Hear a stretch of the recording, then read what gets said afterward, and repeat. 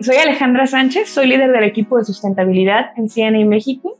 Eh, CNA es una empresa de moda. Actualmente tenemos 89 tiendas aquí en México y yo soy la líder del programa de sustentabilidad en el que buscamos que eh, nuestros productos que están en tienda tengan mayores eh, temas relacionados con sustentabilidad. Acabamos de publicar nuestro reporte de sustentabilidad del 2022 hace un par de semanas y el día de hoy vamos a platicar un poco de eso. A ver, cuéntame exactamente cuáles fueron estos indicadores que encontraron en el reporte de sustentabilidad. Sí, eh, nosotros como marca tenemos una estrategia global de sustentabilidad y eh, cada país o región donde está CNA se encarga de ejecutarla a nivel local. Entonces en México estamos eh, utilizando tres pilares para hablar de todo lo que tenga que ver con sustentabilidad. La parte de personas, la parte, la parte de planeta y la parte de futuro. Entonces en personas hablamos de todo lo que ocurre en la cadena de suministro con las personas que trabajan en las fábricas que están manufacturando las prendas. en este caso, por ejemplo, auditamos las fábricas, damos programas de desarrollo para capacitar a las personas que están ahí, aseguramos que las condiciones dentro de estas fábricas sean lo más justas y seguras posibles y esto lo hacemos con un equipo interno directamente de CNA. En la parte de planeta tenemos las metas que tienen que ver con temas, por ejemplo, de cambio climático, con temas de sustancias químicas que se usan en la cadena de suministro. Eh, y el pilar de futuro es el que hablamos un poco más de hacia dónde va la industria, ¿no? Entonces ahí tenemos iniciativas de materiales más sustentables y de economía circular, por mencionar algunos de los programas que, que tenemos. Entonces en el reporte lo que hacemos cada año es buscar compartir los avances que hemos tenido y eh, pues contextualizamos qué es lo que ocurrió en ese año y compartimos los indicadores de, básicamente lo que ocurrió. ¿Cómo se ha transformado la industria del vestir? Porque ya algunas, bueno, las nuevas generaciones ya traen como este, este chip en donde hay que cuidar el medio ambiente. ¿Ustedes cómo lo están observando alrededor de estas 89 tiendas? Sí, definitivamente cada vez es más común que las personas estemos preocupadas acerca de, de dónde vienen las cosas que estamos usando y sobre todo la industria de la moda es una industria que en particular tiene mucho foco de parte de los usuarios. Entonces hemos notado que eh, cada vez más cuando ponemos, por ejemplo, alguna etiqueta de algún material más sustentable o cuando hablamos de esto en redes sociales, cuando hablamos, por ejemplo, de nuestro programa de, reciclaje y de acopio de prendas, lo utiliza CNA, que está eh, ahorita ya en casi todas las tiendas, excepto unas de frontera. Eh, ese, por ejemplo, es un programa que cuando lo comentamos en redes sociales, eh, hay como mucha interacción de los usuarios, de los consumidores, porque les interesan estos temas.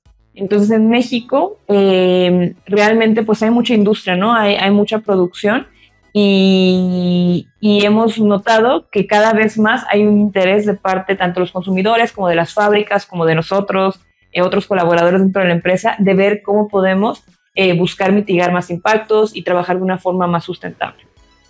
Digamos que del volumen de ropa que, que ustedes eh, presentan en sus tiendas, ¿qué porcentaje es, es de temas de sustentabilidad? Sí, tenemos varias métricas para medir, para medir eso. Una le llamamos la métrica de materiales más sustentables, que nuestra meta para el 2028, que es parte de esta estrategia de sustentabilidad, es que el 100% de nuestros materiales core sean más sustentables. Esos materiales son los que más usamos, que son algodón, poliéster y viscosa, viscosa o rayón. Y el 2022 cerramos con un 35% del 100% con materiales más sustentables, siendo de esto más del 50% del algodón más sustentable. Esto quiero como hacer como una acotación porque después del tema de la pandemia, nosotros obviamente se complejizó mucho las cadenas de suministro como ocurrió en todas las, eh, en todas las industrias. Tuvimos siempre como el, el objetivo de al menos mantener los mismos niveles que teníamos en 2019 y lo logramos durante 2020, 2021 eh, y 2022, que es este año en el que, del que vamos a hablar en el reporte. Eh, logramos de nuevo incrementar los niveles de materiales más sustentables y para este año pues también estamos creciendo muchísimo el porcentaje. Ahorita estoy hablando del 35% porque es lo que viene en el reporte que acabamos de publicar, pero por ejemplo ahorita en 2023 ya tenemos más del 58%, ¿no? Entonces van como esas cifras eh, eh, creciendo Y otra métrica que tenemos, por ejemplo, para medir temas de, materiales o productos más sustentables en la tienda, es lo que tiene que ver con el denim o la mezclilla.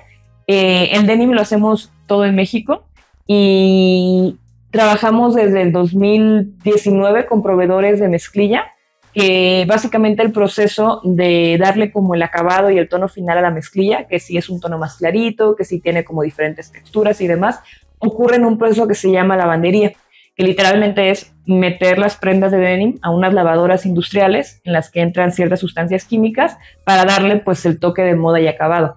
Obviamente pues este proceso requiere mucho uso de agua. Estuvimos trabajando con estos proveedores locales para disminuir el uso de agua en este proceso y logramos disminuir hasta el 60% de agua cambiando algunas fórmulas eh, y con procesos más eficientes. Y esto nosotros como marca tenemos mucho cuidado siempre de que no sean como em, temas que solamente nosotros decimos como, ah, lo medimos nosotros internamente y esto es lo que es, sino que tiene que estar verificado por un tercero. Entonces, cada año hay una auditoría de un tercero, o sea, alguien que, que contratamos para que vaya y audite, eh, para asegurar que estos ahorros continúen siendo, eh, pues, ese volumen.